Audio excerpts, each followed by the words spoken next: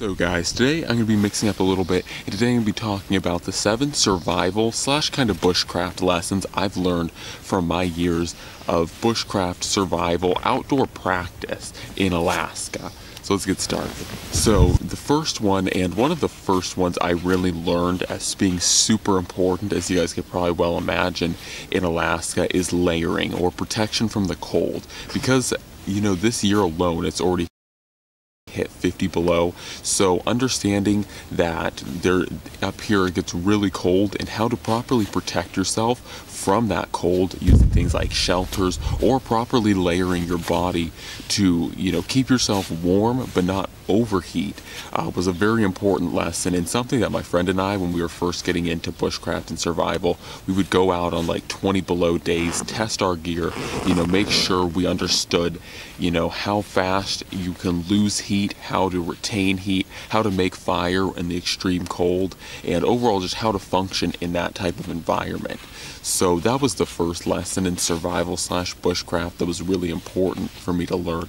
Another thing, it would become really important to learn that as well for things like bushcraft, because if you guys notice, I don't go out when it's really, really cold uh, to bushcraft, and that's because essentially when you're out at 20 or 30 below, you are strictly contingent off of like fires. Like you have to move from one fire to the next fire, because fires are super important for retaining your heat at those cold temperatures. Another one that's in a way kind of similar is bug protection. And while this one's more summer related, up here in Alaska, unlike a lot of the lower 48 states, we do not spray or control bug populations at all up here, which is generally okay because we really don't have that many different types of bugs or bugs that are bad but we do have a horrible mosquito problem. And one of the things that's really bad about being out in the woods, especially woods that are really kind of swampy or more tundra like that are really marshy is that there are loads of woods mosquitoes. And woods mosquitoes, that's kind of what I call them, are different from city mosquitoes because city mosquitoes, they tend to get a lot of blood, so they're really not that bloodthirsty.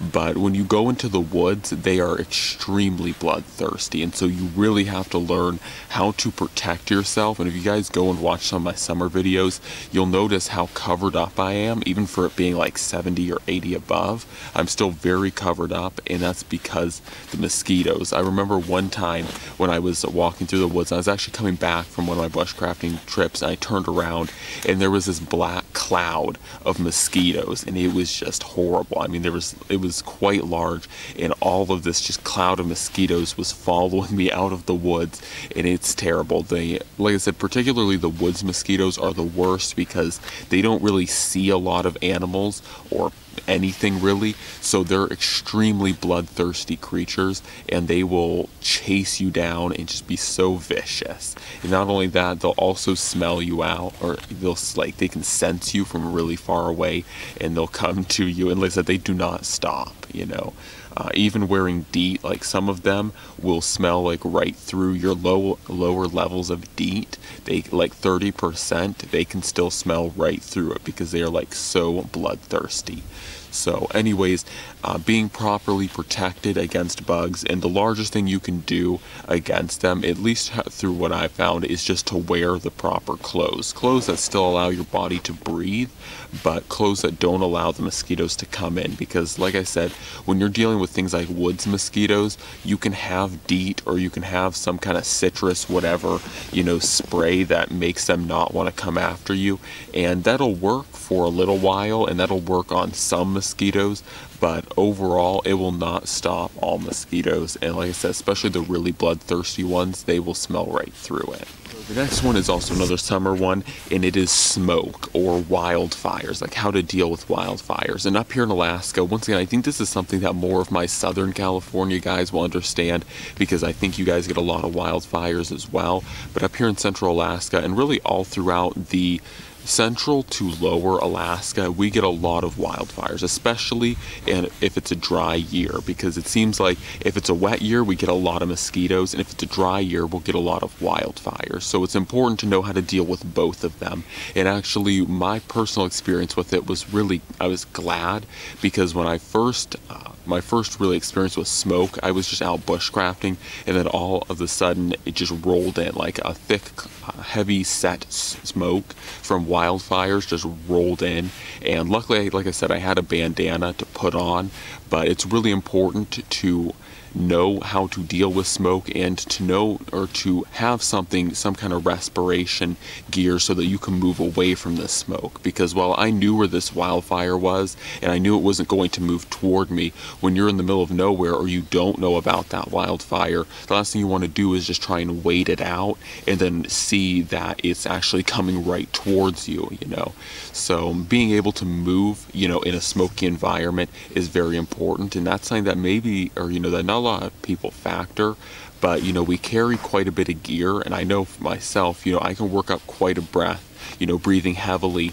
Uh, even in a smoky environment, and is very hard to move breathing heavily in a smoky environment. So, having some sort of respiration to account for that is very important. This one is pack weight, and this kind of gets back to winter. And pack weight, I really learned quite fast to pack light, and this is very important because in Alaska, and I'm sure some of you upper, lower 48 people can understand where I'm going with or understand where I'm coming at with this, and that is that when we get snow up here, because our winters are pretty much entirely under uh, under 32 above, or that's the freezing temperature, when we get snow, it sticks. So we can get, you know, four feet of snow just as much as many of you guys in lower 48. But the difference is our snow is actually sticks. Our snow never goes away until springtime. So we can literally have four feet of snow really have up to three and a half feet of snow on the ground. And so learning to pack light is really important because even if you use snowshoes, which I've already used a bit this year, uh, packing heavy, you will still sink down because it's just a matter of weight. I mean, the snowshoe will disperse your weight across a larger area, but if you still weigh a lot or if you're still packing in a lot of weight, you're still going to sink through the snow. So learning to pack light, especially in the winter, was very important for not sinking into the snow. Uh, in addition, it also means that you don't fatigue as easily, but also here in Alaska, it's very mountainous. If you guys ever come here or if you ever go onto a lot of the trails here, you'll know that a lot of it's very up, up mountains, down mountains, and learning to pack light is very important because going up mountains with heavy packs is a nice nightmare. It's not fun at all. So learning to pack light was something that I learned quite fast and learning how to really make what you have count just so that you don't have to pack a lot of excess garbage with you. And the next one is Alone, and this one I'm not talking about the TV show, but I'm talking about a very truthful fact about Alaska, and this is something that's unlike any lower 48 state that really has to, or you guys don't really have to deal with this in the lower 48 states, but up here in Alaska, you can truly be alone, and this is a blessing and a curse in a way. Uh, it is nice, and you guys will notice in a lot of my videos, you know, I'm not really interrupted, and I don't really have interruptions, and so it's really nice being able to be alone, like truly going away from civilization and not being pestered by anyone. You know, it allows you to be really, you know, to do videos really well and to test gear, you know, and the privacy factor is really nice. But a downside to being truly alone is should you ever go missing or should anyone ever have to look for you, it can be very difficult because now instead of, you know, the police or the, you know, state troopers having to search, you know, 20 acres, they now have to search 200 or 400 acres for you.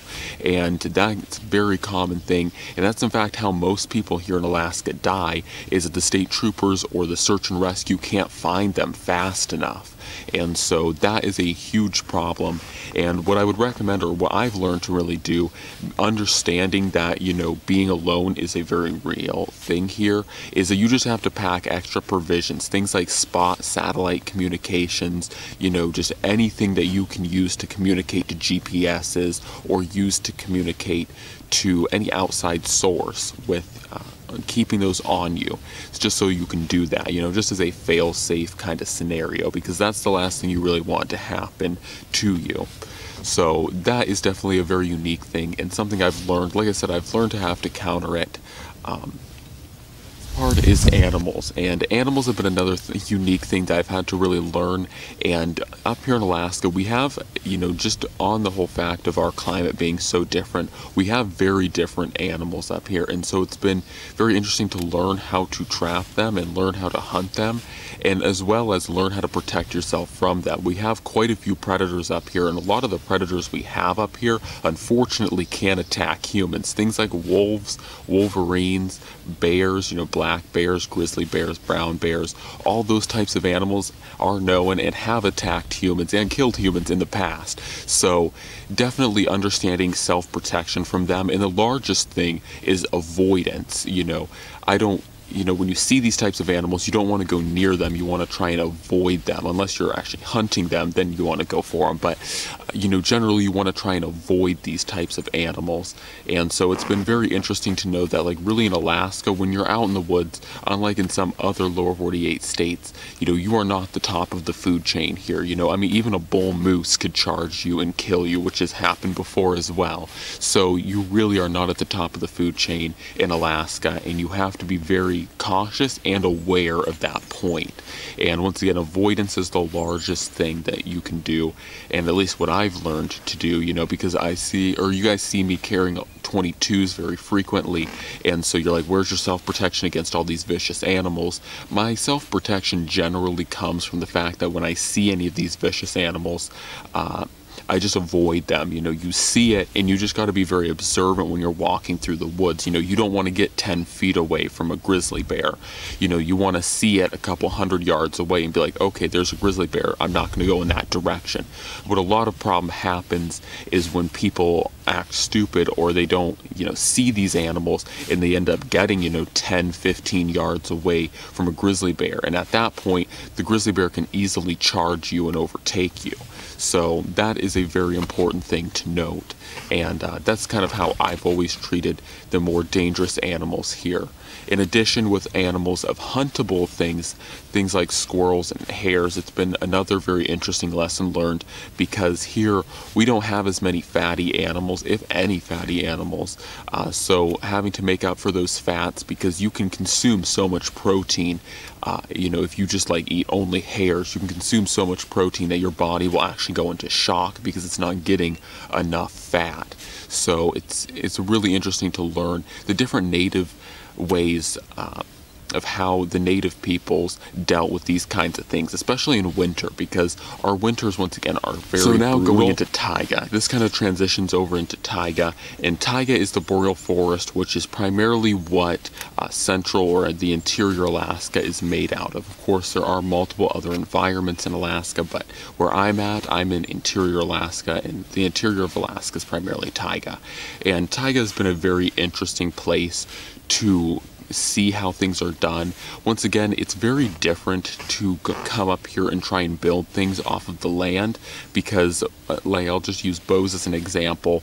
Uh, you guys down in Lower 48, you have things like Osage orange or hickory. I know hickory's like all over the place, uh, but we do not have any hardwoods for making bows at all. So things like bows up here are very differently made, and it's been very interesting to learn how things are done up here because they are quite different. Addition, a lot of the uh, natural like I said, uh, plants and berries and stuff that you guys have, we do not have up here. But we also have some berries that you guys don't have, so it kind of balances out. But another thing that's interesting is our growing seasons. Our berry picking season lasts only about a month. I mean, maybe about two.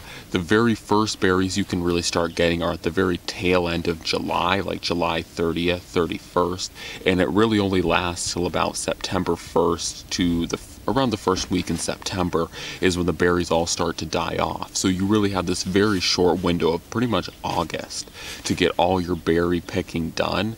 And then you have some access to things, uh, some natural plants throughout those summer months. But once again, our summer months are from about May to right around August. Middle of August is when our uh, season starts to transition into fall. So we really have a very short summer slash fall season to get everything we need done as far as plants go.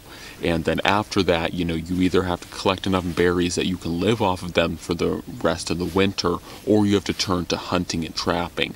So that and fishing. Fishing's really big, just not in Fairbanks, but um, it's been very interesting to see how differential it is and this has taught me to be you know a lot more on the ball and about getting things like berries and where to find them how to get them. Another advantage we kind of do have as well here is since it does get and pretty much stay below freezing pretty much all of winter another thing that we have access to is essentially a freezer outside that lasts all winter. So things like preserving berries is a very real thing that you can do because you can put them just outside. You don't even have to bury them in snow if there is any snow because if it's below 32, the berries aren't going to rot or they're not going to go bad.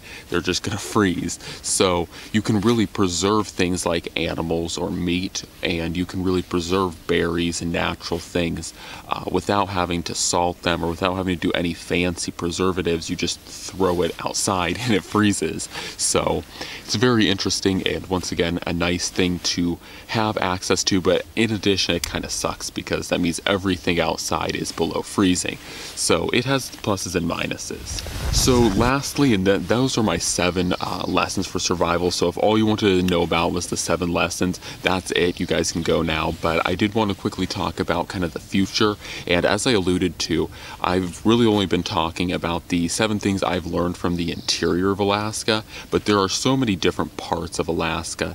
There there's the rainforest down by Juneau. There's coastal areas by the Kenai. There's also Aleutian Islands, and of course the very known tundra and Arctic up north and I really want to in these coming years try and get to these different places. And above all I want to see how I can actually learn to include some of you guys into these trips because I think it'd be really fun to take some of my most loyal subscribers and viewers and have them come along on these journeys because I can go to an island easily and I can go record a video on an island and do it all fun and have all the fun and just leave you guys with like a video of it. But I think it'd be really fun to take along like three of my most loyal subscribers to these different islands and have them survive with me because that would be a lot more fun. And you guys would get a personal story that you can tell to your people or you know whoever you know. And you know you can get more than just a video out of this. You can get the actual emotions the experience the fun the excitement the terror whatever happens you know you can get that out of it. And i think it's a lot better journey when you can include people into that story you know instead of just making it all about yourself so in the future, and I'm talking still probably about at least a year out, I would like to definitely get down to some of the Aleutian Islands and uh, get over to like the rainforest and coastal area. I'm not sure about the, uh, the tundra and the Arctic because that place, I mean, I've flown over it and I've been into the Arctic and the tundra many times and it's a desolate place. It it's not a fun place. I mean, like I said, I've flown over it many times and I've always looked down from the plane. I've been like, man, if I had to survive there, I don't know what I would do because there's about like one tree and we're talking like a little wimpy 10 foot pine tree and that's like about one per every square mile. Okay, maybe it's a little bit more populated than that, but it is bad. it's about that bad. And then a lot of it, and I've flown around a lot in the Brooks Range area, and that's a good chunk of the tundra. And the Brooks Range, I mean, there are areas you can inhabit of the Brooks Range, as different villages do, but for the most part, the Brooks Range is hardcore. I mean, the, there's mountains that are, you know, like this steep. Like, I mean, they're like just straight up like spikes from the ground there, and they're very rocky, very unhospitable uh, so I don't know what I'm going to be doing the tundra. I would like to, at some point in my life, do some survival in the tundra, but the tundra, I mean, it's rough. It's very hard. Whereas I do think the uh, islands and stuff, those would actually just be really fun, and they wouldn't be as hard as it is up here because actually in the lower, more southern parts of Alaska, it doesn't actually get that cold. Uh, up here in Fairbanks is where you really start to get the Arctic temperatures. That's another thing about the Arctic is it gets even colder up there than it does here. So I mean, if it's negative 50 to 60 here, you know, we're talking negative 60 to 70, you know, up there. And uh, yeah, it's it's ridiculous. So, anyways, guys, that's kind of a future update on what I want to begin to do in the future. Like I said, that's still probably a year out because I have to kind of find out more how I can do that and how I can get down there and when I can get down there. And then if I want to include any of you guys or if I can include any of you guys, how to get you guys down there as well. So anyways, guys, that's kind of my survival tips, or those are my survival tips and what I want to begin to do because I would love to do an update to this video in a few years once I've been to these different parts of Alaska and, you know, what my takeaways are from the Aleutian Islands as opposed to the interior, as opposed to the rainforest, as opposed to the coast, you know, like, because all these different places have very different lifestyles, and that's what I really want to get towards. So anyways, guys, don't forget to comment, like, share, subscribe, and I'm out.